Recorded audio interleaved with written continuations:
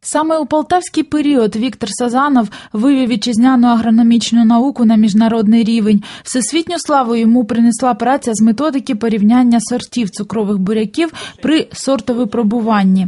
У Німеччині та Великобританії займалися випробуванням сортів буряків саме за методом Сазанова.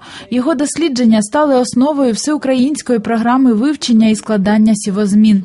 Я хочу, щоб ми от, віддавали їй належне, бо є за що. 25-ліття станції, 40-річчя було не тільки подією для Полтавщини, воно було не тільки подією для, скажімо, Радянського Союзу, або тоді царської Росії, да воно в світі було подією. 125 наукових праць з питань землеробства, селекції, дослідної справи, агрохімії, агрономії та вищої сільськогосподарської освіти. У розквіті сил з 1920 по 30 роки Віктор Сазанов керує Полтавською сільськогосподарською дослідною станцією. Наукові розробки Сазанова високо цінували всесвітньо відомі науковці, у тому числі академік Микола Вавілов. Коли Сазанов вдруге відчув, що погроза арешта, то Ніколай Іванович запросив його е, в 29-му році переїхати е, в інститут прикладної ботаніки в Ленінград. Він переїхав.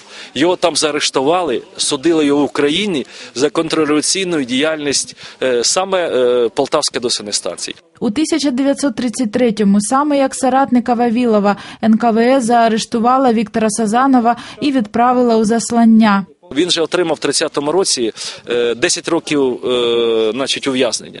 В 35-му році він подав на апеляцію і завдячуючи Ніколаю Івановичу, він е, був е, його звільнили з під варти і на поселення. На круглому столі, присвяченому пам'яті Віктора Сазанова в Полтавській державній аграрній академії, представили наукові доповіді та унікальні архівні матеріали, які досі не були відомі широкому загалу.